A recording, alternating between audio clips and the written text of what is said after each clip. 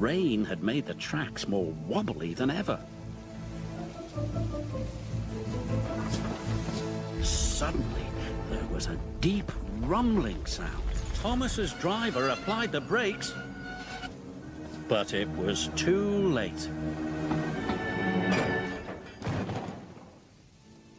Cinders and ashes! cried Thomas. We're stuck! And they were.